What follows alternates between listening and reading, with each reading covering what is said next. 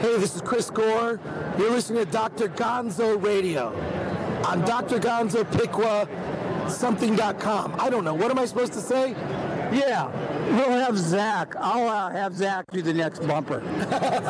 so, hey, Dr. Gonzo's here. Put a, put a dime in him, you gotta let the whole song play out. He'd like human jukebox. Oh, he's a talker, ain't he? He's an old fat grandpa man.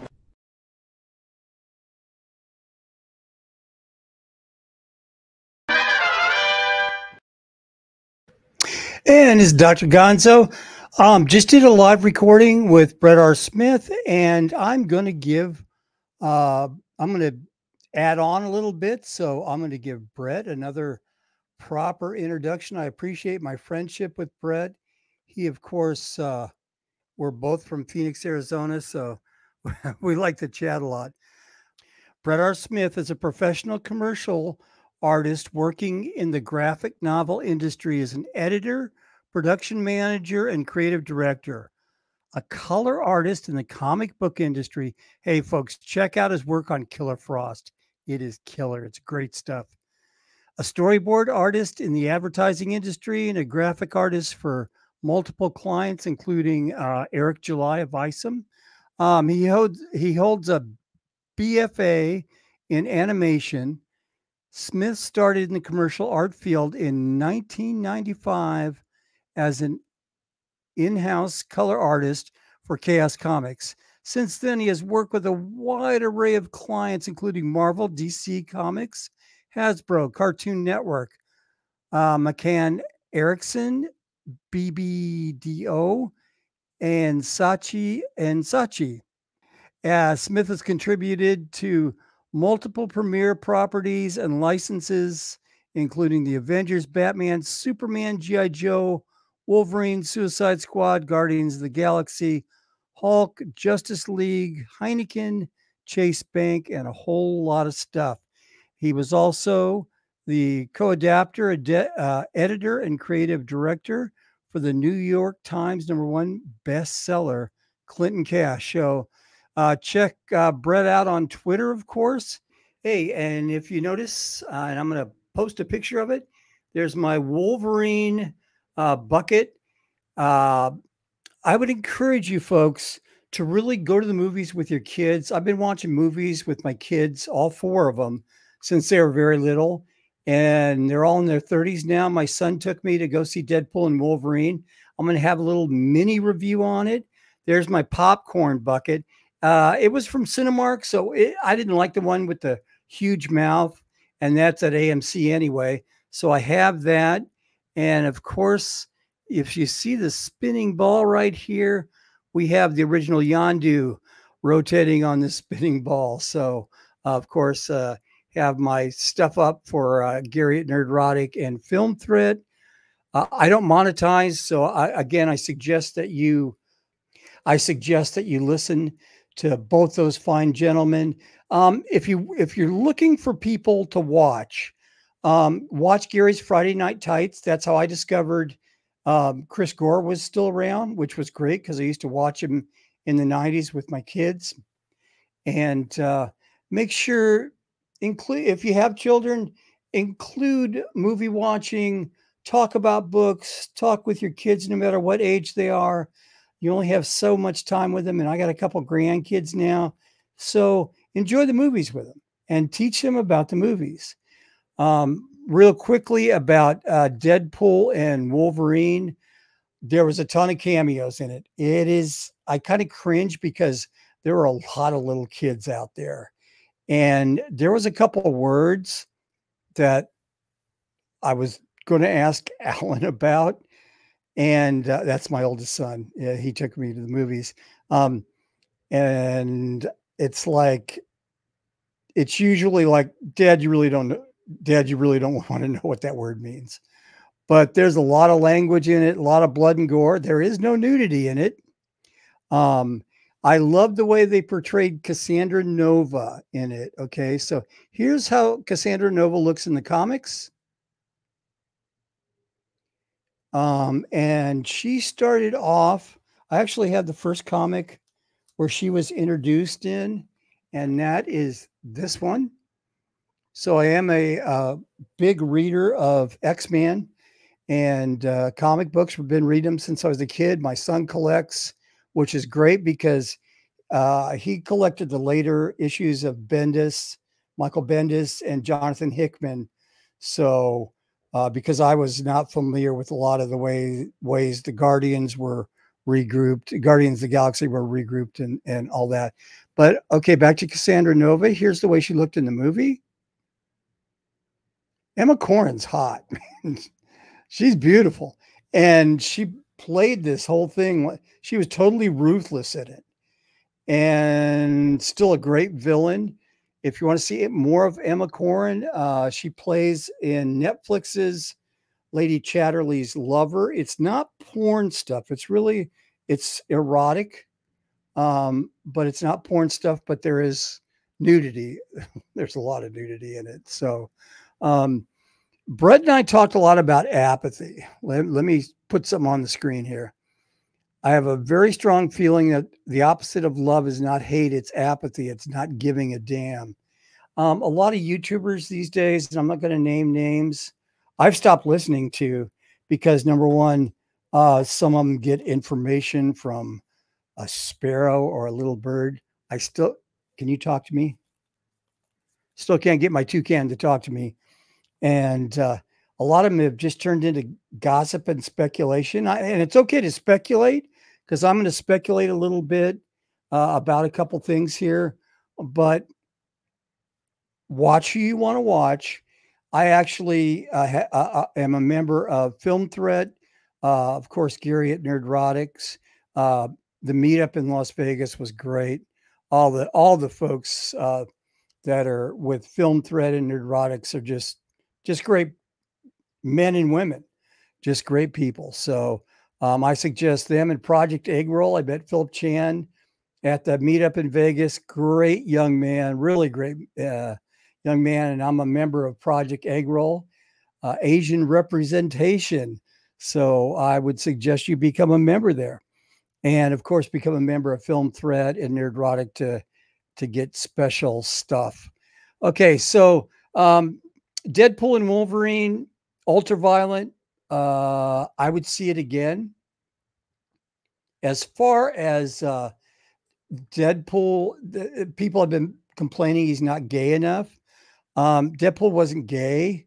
I, I read the comics too, so he wasn't gay. And I heard somebody tell say he was pansexual, and I, I don't go for the more than two gender things. If you do, that's cool. Uh, you know, whatever you want. I have no argument or hate or adversity towards you. But if pansexual means however it pans out, that would be Deadpool. He is flirty with guys and girls. And I've only seen him in heterosexual relationships. The first first superhero that came out as gay was North Star from Alpha Flight, and Brett and I did a uh, video on that before. So um, there's a lot of great movies out. You just got to kind of hand pick them. Uh, Twisters was great. And of course, um, there's a lot going on because of San Diego Comic Con. And check out Film Threat or Nerdrotics uh, for some of the videos of that. Fantastic Four. I am not so. Hey, Vanessa Kirby's hot. She's beautiful. I think all the casting for that is really good, except for Pedro Pascal uh, he should either lose the mustache or grow a beard. And he has grown a beard before. So I don't like the voice he uses. He uses the same vo- voice that he used as Max Lord in Wonder Woman in 1984. And we know how that turned out. So just don't see Pedro as Mr. Fantastic. But Galactus looks great. And for sure, I will go and see the movie. So, um, let's get back to the big reveal on Hall H. Let me bring up a picture for you. I'm just going to give you a little bit of what I think where they where where they will go with Doctor Doom. Okay, so the big reveal was this. Okay, Robert Downey Jr. is Doctor Doom. Okay, there is one issue. Alan and I are looking for it in his collection. It's in a what if comic um, Doctor Doom and read uh, Doctor Doom and Tony Stark switch bodies. Maybe they're going to go that route with the variants. They uh, Marvel has left too many things out in the open. Uh, number one, um, they they had Star uh, Star Fox and Pip, which should have been part of the Infinity War. They had them in the tail end of Eternals. Nothing about bringing them in. Uh, Shang Chi's post credit scenes. They have so many untied loose ends. Uh, Marvel movies alone may do okay. I'm going to go see Captain America Falcon and Thunderbolts, but I don't have I have very low expectations for both of those movies. So again, if you go in with very low expectations, uh, maybe uh, maybe it'll be okay for you. Okay, so Robert Downey Jr. is Doctor Doom. Do I think he can play it? Sure. How are they going to set it up? Let me find a comic. Now, it hasn't really been set if they're going to include uh, Franklin Richards or Valeria in the Fantastic Four movie or tie that in before Secret Wars. They may do that. Now, they could go Secret Wars with uh, Robert Downey Jr. Uh, being uh, God Doom. Uh, there was also this comic which in one of the trailers was uh, buried next to uh, Dead Deadpool when he was lying down there. Again, Deadpool was a good movie. I'd go see it again. It was all over the place. Um, and there's a ton of reviews out there. But going forward, how how will the Russo brothers take care of Kang? I hate the TVA. I hated the Loki miniseries. I just I like Tom Hiddleston. I like Owen Wilson. I did not like um, the the TVA series um, at all, you know. But it's tied in, and the way they could go about it is since the Void. Uh, this is no spoilers, but where where Wolverine and Deadpool get dumped is the Void, and the Void is like where they dump all the variants and different superheroes and one faction's fighting the other. So it so it already is a type of battle world, which is really well set up. Of course, in Secret Wars, this this was one of my favorite runs of any comic. Um, it, it just it, it was a great series. So will they do it that way? I, I bet they, I bet they might. I don't know. Again, I would be very wary of people who say they have inside insider knowledge and stuff like that. I know people in the industry. Um, my Wolverine thing back there has a, a, set of sunglasses in it that were um, uh, what uh, X23's one of her prop glasses. And I really like uh, the actress that plays X23. She was also in The Acolyte. I thought she did a decent, I thought she was the only good thing uh, about about the acolyte. Um, I'm not sure what direction Marvel is going, but I think it's a good move with the Russo brothers and Robert Downey Jr. Will it work out? Wait and see. I mean, we don't have any good movies or any good series. Uh, they uh, Disney ruined Agatha Harkness. She's nothing like she is in the comic books. Um, Star Wars is super dead. Um, I was going to do a, a, review on the Acolyte, but I decided not to because it was just so utterly awful. I mean, it was the worst thrown together piece of crap I've ever seen. That's my opinion. Now, I was just at a Comic Con locally, and there were a lot of people that liked the Ac- Acolyte. I don't understand why. But let's pivot just a second and let's play a couple clips from the Acolyte. They had this little rat bastard in there, and I didn't understand, so I made a little mini video about it. Here we go. Basil.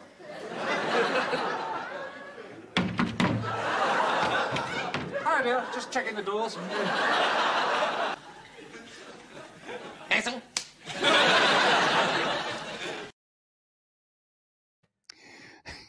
I don't know. I don't know how Leslie got the gig, but She's connected with Harvey Weinstein. She knows where all the bodies are buried. I'm sure she has leverage. I'm sure she could just go in and do this. Do it, do it, do, do, do it, do it, do it, do, do, do. She can't write. She can't direct, in my opinion. Her wife, the Skittles lady, I think that's what Snarky Jay calls her, Skittlehead or something like that. Uh, lady can't act. Sorry. Um, she can't act. And uh, Star Wars is potentially dead. I mean, it, it just is.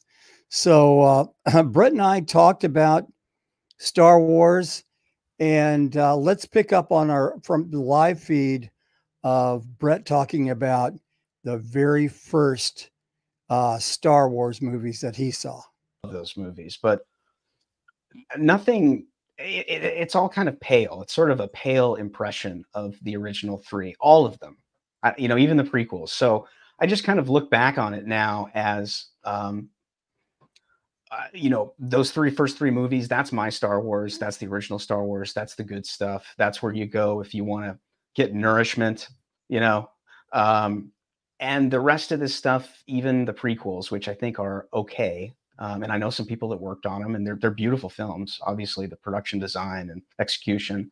Um, but these this new stuff, um, and I would probably say the first two seasons of Mando, I think, are just really good. I think that first season is just perfect. The second Yeah, is yeah. near perfect. The third is, you know, um, it's got some problems, but that's the purest that I've seen. Some people would say Rogue One. I need to go back and watch that because when I saw that in the theater, I love I loved Rogue One.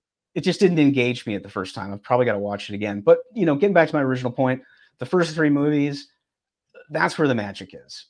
And George Lucas was a different guy back then and had different intentions and was young and hungry and had something to prove. And there's a lot to be said about that for an artist when you're under the gun and you've got studio execs breathing down your neck and you've got to show them something remarkable. And he, you know, he rose to the occasion. He also had a bunch of creatives who he uh, deftly hired and, and they were at, they rose to the occasion as well. But everything since then, I just to me, it's just kind of like it's it's fan fiction. It's it's a you know it's it's a pale comparison, and it'll never be what it was. So it's just sort of you got to kind of uh, manage your expectations these days and understand that what we had in the 70s and the 80s was really special.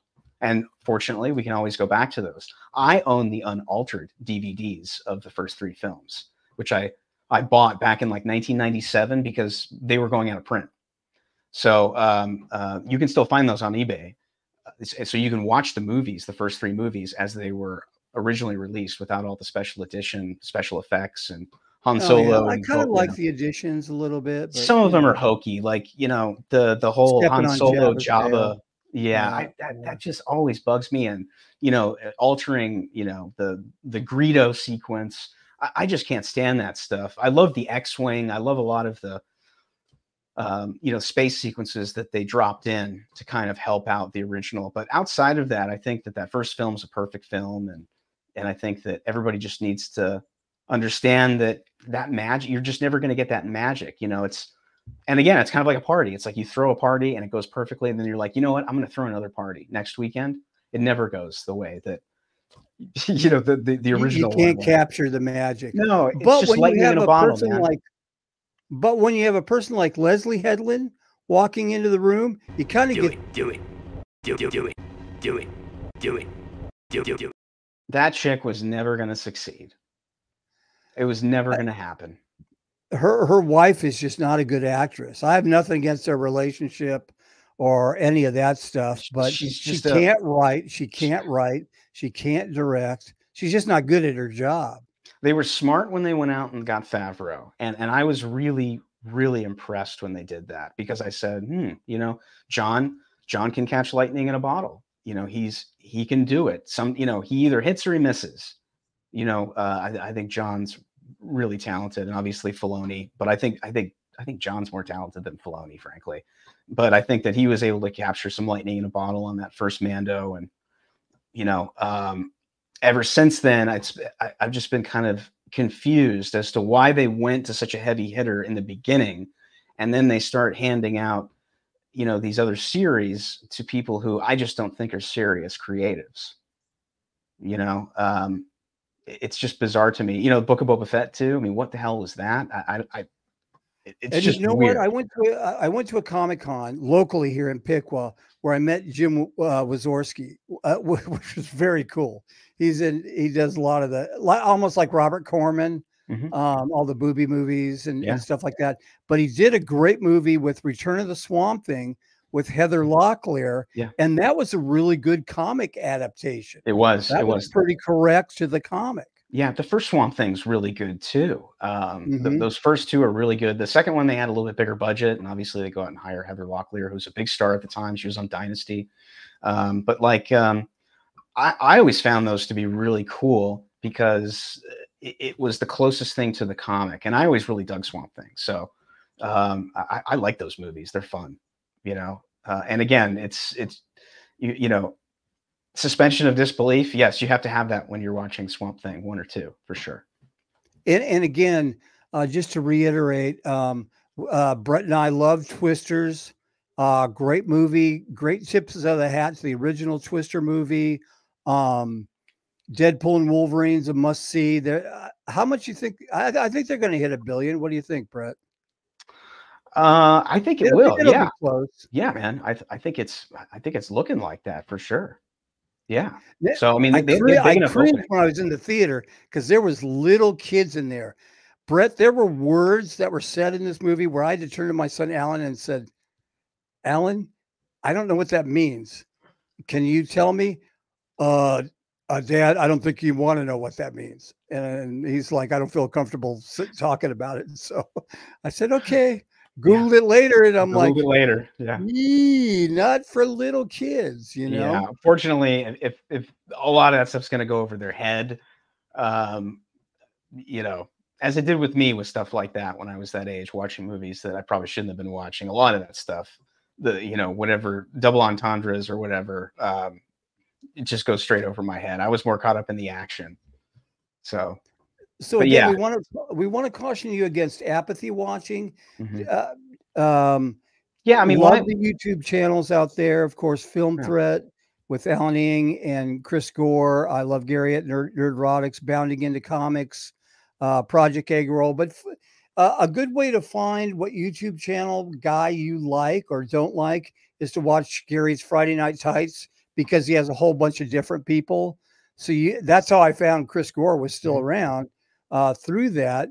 Um, and and going to the movie with low expectations, I guess, because um, and then you're then you're thrilled and ha- uh, watch for movies where you can have a fun time. yeah yeah i mean Um, this this is about like what do you want to spend your time doing right you want to spend your time watching a movie and being miserable you want to spend your time watching a movie and enjoying and feeling good you know i mean i can't imagine apathy watching stuff because i'd just be a miserable prick all day long And and uh, my son. Uh, now it's cool. Uh, kudos to my son Alan. Uh, my granddaughter Willow May. He takes her to the movies. oh nice She has her own little flashlight, you know, to kind of watch where her feet are, and got to watch it because she'll shine it all around. But uh, he took her to Inside Out too, cool and and she loved it, and obviously a lot of other people loved it too. Mhm. So I think these days it's going to be hit or miss. You just have to be discerning yeah and uh, uh, do do some homework on the movie. You know, of course, uh, check out Brett on Bounding into Comics.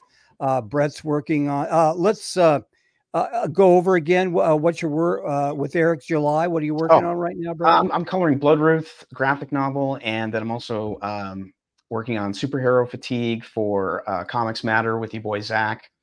Uh, he, it's on Indiegogo, superhero fatigue. Sergio Cariello, Chuck Dixon. So it's it's a good looking book, and it's funny. If you're looking for something that's light and a comedy and a satire, um, and something that uh, kind of lampoons uh, superheroes and superhero movies, it's it's a really cool book. It's a lot of fun.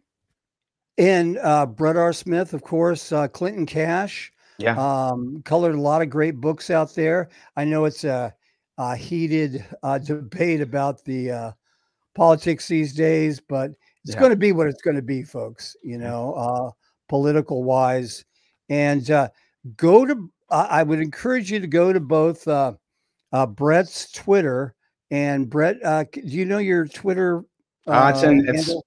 it's right there at Brett R. Oh, cool. 76, Yeah, yeah. I gotta. I'll have to add that to mine because Brett has a lot of great information. Um, he also uh, will repost a lot of great indie comics because I've stopped reading regular comics, man. Yeah. Because, um, you know, they said Deadpool isn't gay enough. There's a lot of that stuff. I'm not against gay people. You and I have, have discussed this in a thing before Right. but Deadpool wasn't the original gay. He's not a gay superhero. He's maybe flirty both ways, loves women, as it shows in the comics and, and on there. But North Star of Alpha Flight was actually the first gay superhero, and they had a big wedding issue with X Men and stuff like that. I, I I would encourage you to go back, read the older comics, watch some of the older movies. I just rewatched Fantastic Four one and two. They're pretty good. Mm-hmm. Yeah. Uh, Galactus looks cool in the new Fantastic Four movie. Yeah. Uh, the the picture of his face. Yeah. Um, I think it's good casting, except Mm-hmm. Pedro. I I'm glad he's working, you know, but how he juggles that in the the uh, Mandalorian movie, which I, I don't I don't know. I don't know that I would go see a, a Mandalorian and Grogu movie at the at the theater. You know, Yeah. Uh, I don't know uh, either, man. I don't know. We'll see. We'll see. We'll you know see what, what, what it starts to look like when the previews you know starts to come out. and I'm- I'm with Brett, you. What, what do you? Uh, hey, we're both watching Taylor Sheridan stuff. Mhm. Uh, Tulsa King is free right now Mhm. um, on CBS. They just Yeah. started airing that. That's Yeah. season one. Season two is coming up in September. Yeah. Um, are they going to do any more Reacher? You know? Yeah, I know. I know they're working on season three uh, because they want to get it out as quickly as possible. You know, because all, all of these streamers uh, are trying to crank out um, entertainment faster to avoid what they call churn, which is where you subscribe to Paramount Plus, you watch a bunch of stuff that you all, all have always wanted to watch, you watch both seasons of Reacher, and then you cancel your subscription. And then when the new season comes out, you re up and then you watch Reacher, and then you cancel your subscription. They call it churning. So they're trying to avoid that, and the only way to do that is to put out stuff faster. So as soon as season two wrapped, they went directly into season three on Reacher, and um, you know, hopefully we'll get something soon. And uh, it's the same with Tulsa King. You know, they want to faster turnarounds on this stuff because they know they got to keep people uh, captivated with new stuff. Okay. Uh, super superhero fatigue or bad movie fatigue? What do you think? bad movie fatigue, dude. Bad TV fatigue. I mean, it's all just it, it's just it's not on par. It's not uh, it's it's not on the level. They have it that you know they don't have it dialed in. They need better creatives. And and Yeah, they're do out there. What They, think about Colin? they exist. Those creatives exist. They just need to hire them. What do you think about Colin Farrell and uh, the Penguin? I just, dude, I, th- I think Colin Farrell's like just an amazing actor. I haven't watched I it. love him I have a hard yeah. time with anything that is Batman related that doesn't have Batman in it. That's my problem. I've always been that way. That was I was the same way with Gotham. I was the same way with Pennyworth. I was just like, I, I don't care. I, I want to. I want something with Batman in it. It's got to be compelling to me, and the only way you do that is with the hero. So, um, but that's just me. You know, I didn't like Joker. Lots of people like Joker. I, I didn't care for it. I I'll go see part two just to see it, but Yeah. um, I won't see that in the a lot of anxiety at the time, I might and that watch it. movie seriously physically stressed me out. Yeah, yeah. I, I, Uh, know, I because because he was doing his job, you know, Yeah. uh, Joaquin Phoenix was doing his job. yeah. Um, speaking of Batman, the new cartoon series, have you ever seen a female penguin? Now they're going to do a female uh, Mrs. Freeze, all this It's, stuff. it's so too bad because it looks so good. They obviously hired a great studio. They're cranking out great animation. It looks, it looks really visually, um, uh, you know, awesome. But when I saw that female penguin and like the song and dance routine and the 23 skidoo, I was just like, nah, I don't think so. I think I'll continue watching the uh, Universal Action Channel on Pluto TV, which is showing round the clock Knight Rider A Team, Miami Vice, Magnum PI all day long, 24 hours a day. I mean, it's the greatest Great. channel that anyone has ever created, uh, and it's free. It's amazing. So I've been watching Yeah. a lot of Miami Vice, and I, I've been kind of um, shocked at how good that show was.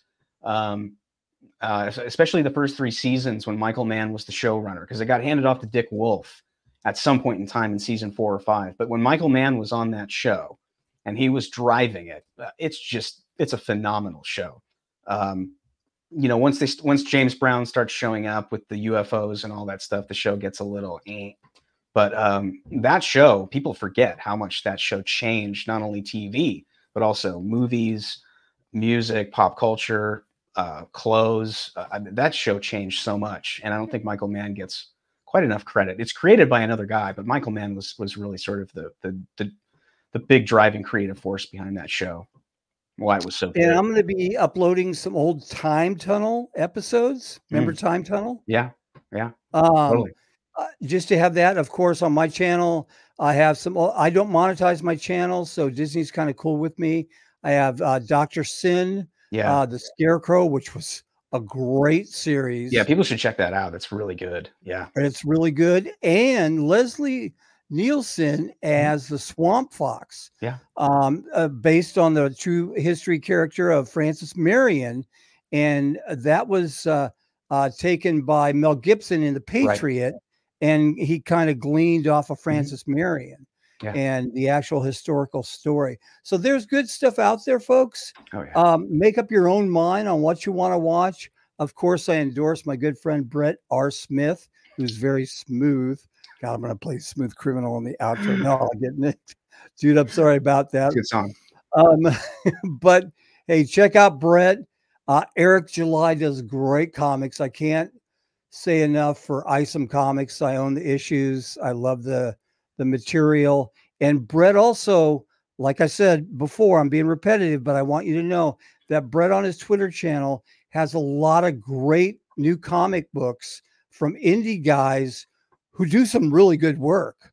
Yeah. Um, I try- I try and give a shout out to anybody in particular. you know, I know Graham Nolan's got Doc Frankenstein. There's there's a you know, I try and retweet as many creators as I can who have active campaigns and um, just just you know spread the word so people know because that's that's how you market these things these days. But yeah, there's a ton of great comics out there right now. Most of them are in the indie market, and uh, you just got to go exploring on Kickstarter and Indiegogo, and and you'll find them. Is did uh you know if Razorfist did he do a comic book?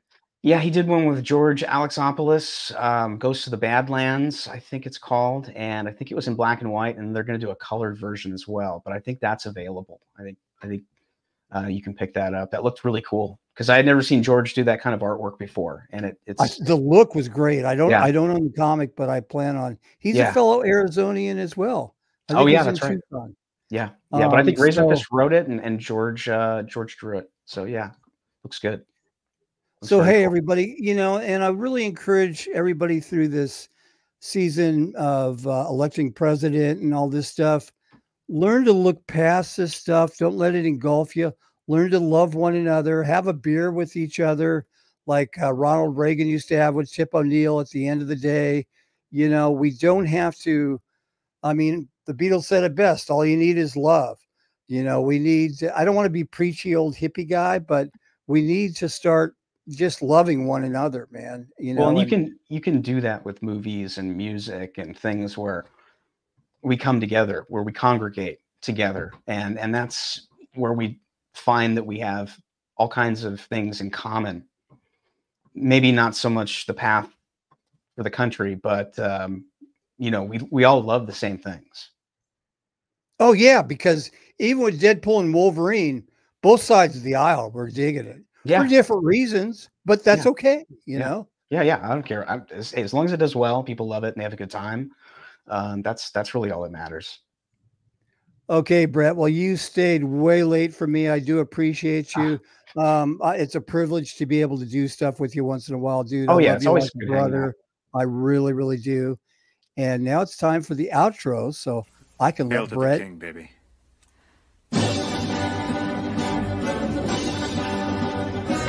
Are you two doing? It's called rocking out. You wouldn't understand, Dad. You're not with it. I used to be with it, but then they changed what it was.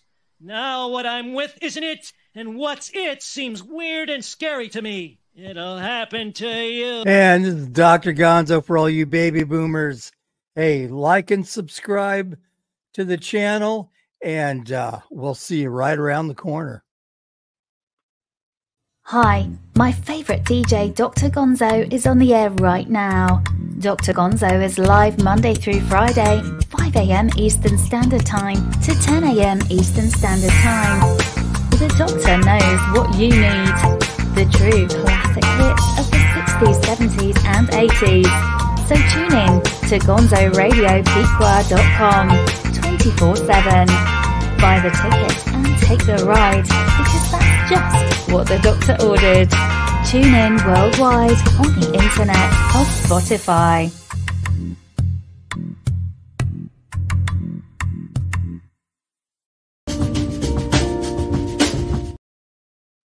And that was my little Star Trek uh, cha cha cha. And again, Brett, thank you for being on. We're going to end the stream right now. Uh, please like and, and subscribe. And uh, see, I'm Dr. Gonzo. Oh, you know the one thing I like that I didn't show.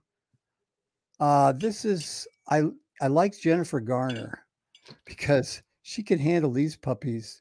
She's good electric. better than me. Yeah. She's she's a badass. Yeah. No spoilers for Wolverine and Deadpool, but you know, hey, hey, uh, Brett, we're going to end the stream now. Thank you very much for being here.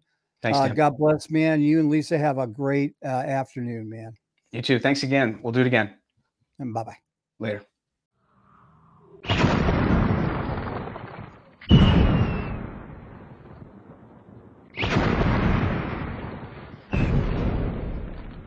What manner of man are you that can summon up fire without flint or tinder? I am an enchanter. By what name are you known? There are some who call me Tim. Greetings, Tim the Enchanter.